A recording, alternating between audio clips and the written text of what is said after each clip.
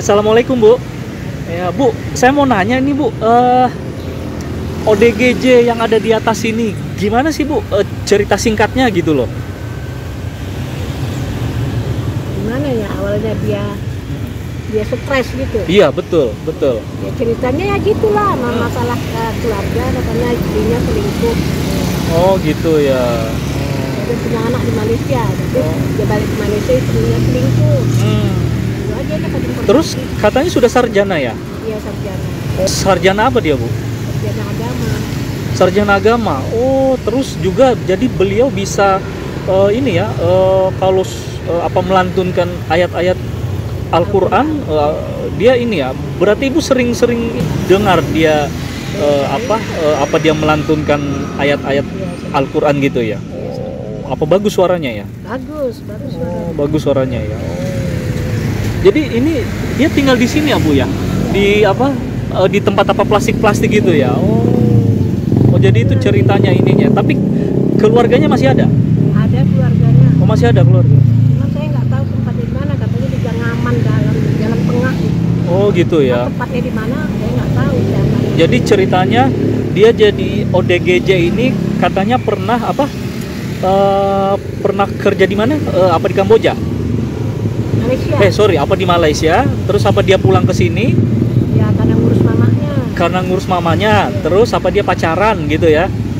dia nggak pacaran Oh, bukan. istrinya selingkuh Oh, istrinya selingkuh gitu ya. Oh, jadinya dia begini ya. Oh. Oke. Oke, Bu, kalau begitu coba saya lihat ya, Bu, apa ke belakang ya. Ya. Nah, oke guys. Jadi itulah ceritanya ya, guys ya. Ceritanya si eh, bapak ini ya. Eh, dan namanya juga ini kita belum tahu. Jadi kita coba aja dulu ya. Kita coba berkomunikasi dengan eh, apa sih bapak ini. Pak, Nih apa saya taruh di sini ya? Waduh. Wah. Oh apa nggak mau? Oh, ini apa rokok rokok? Waduh guys, ternyata nggak mau guys. Oke, jadi ini guys, apa rumahnya ini nih katanya, nih, apa plastik-plastik ini nih, gitu ya.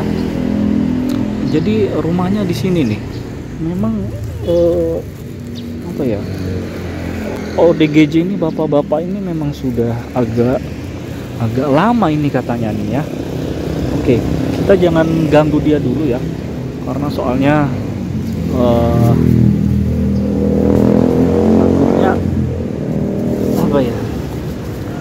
Karena kalau kayak begitu jangan diganggu gitu loh ya. Oke. Jadi inilah guys apa tempatnya ya tuh. Jadi katanya beliau oh apa eh sering memakai plastik gitu loh dan dia mengumpulkan apa plastik-plastik ini katanya nih gitu ya jadi apa rumahnya di sini nah itu dia guys itu dia di sana tuh ya jadi jangan jangan kita ganggu dulu nah nah itu sampai ada itu tuh ada ayat-ayat Al-Quran di dalam situ ya. Nah jadi rumahnya di atas ini nih. Jadi apa plastik-plastik sama kardus-kardus ya. Ini tali-tali ini dia yang bikin nih supaya orang-orang nggak masuk nih. Gitu guys ya. Memang dia sangat ini banget apa protektif banget ya. Waduh itu ada gambar senjata itu tuh. Sama Al-Quran itu ya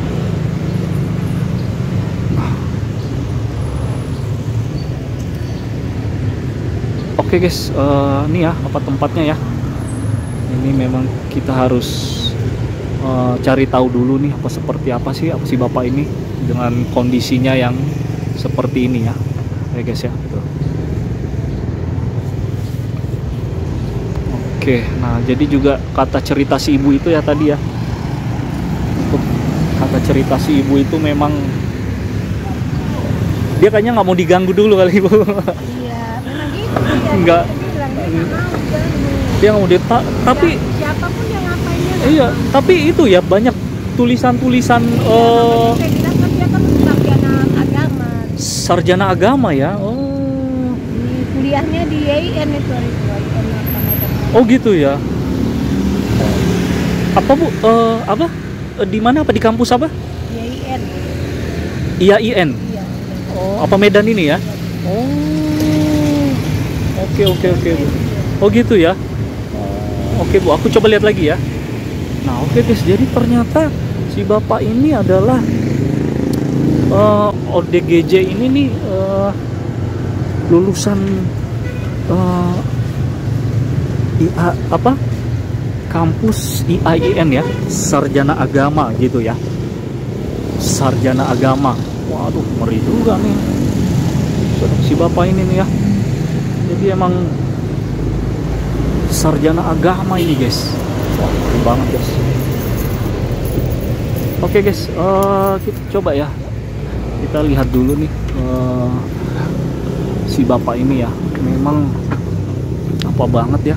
Eh, banyak banget tulisan-tulisan Al-Quran di sini ya. Memang beliau memang sarjana agama gitu ya.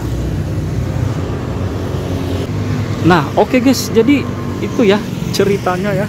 Jadi ini ceritanya eh, mungkin dia lagi tidak mau diganggu. Nanti coba kita ke sini lagi yang jelas.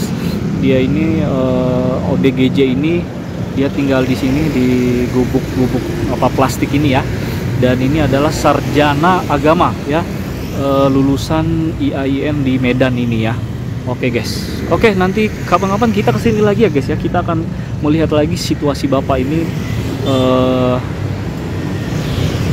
bagaimana keadaannya dan kondisinya eh, karena hari ini dia tidak mau diganggu nih kayaknya nih. Ya karena soalnya kalau dia udah kalau kalau ODGJ sudah agak marah-marah begitu jangan diganggu gitu ya. Oke guys kita lihat dulu ya. Kita lihat dulu kondisinya eh, seperti ini gitu ya. Oke guys thank you